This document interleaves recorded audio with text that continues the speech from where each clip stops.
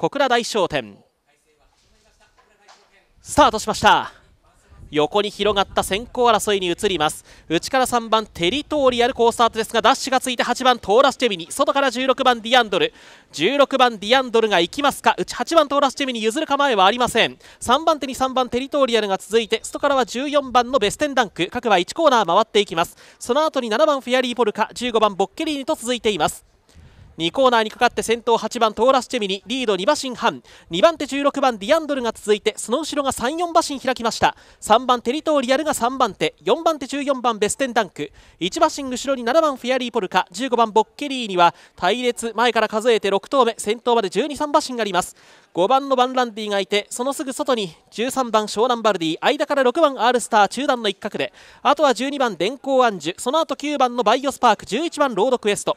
後方から2番バンケドミンゴ4番アドマイアジャスタ後ろから1番のカルナ内を使って上がっていくそして10番ドゥオモという隊列。スタートからの 1000m58 秒0と掲示されて3コーナーカーブです。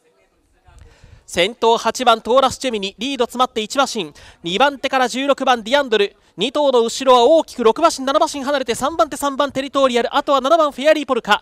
34コーナー中間で前の2頭が並びました。外から16番ディアンドル今度は先頭か。内で8番トーラスチェミに4馬身開いて3番手シンロスとよりテリトーリアル。さらに外にフェアリーポルカ。外に持ち出して15番ボッケリーに5頭目で直線コースに向かいました。先頭は16番ディアンドル。リードは2馬身から3馬身。2番手はトーラスチェミに内を狙って12番電光暗示。外からは3番のテリリトーリアル15番ボッケリーニが追い込んでくる。16番ディアンドル。内から12番。電光暗示エミナマサイ外から3番テリトーリアル15番ボッケリーニ。テリトーリアルボッケリーニ。テリトーリアルボッケリーニ。並んでゴールイン。3着争いも接戦。